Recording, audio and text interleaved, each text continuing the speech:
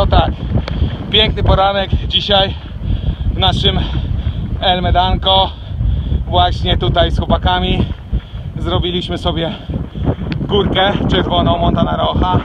Proszę, tam w tle widać nasze Medanko, a my tu na górze wejdę instruktażowo, żebyście wszyscy wiedzieli. Bo my się tak zastanawiamy, jak sobie damy radę bez śniegu w te święta.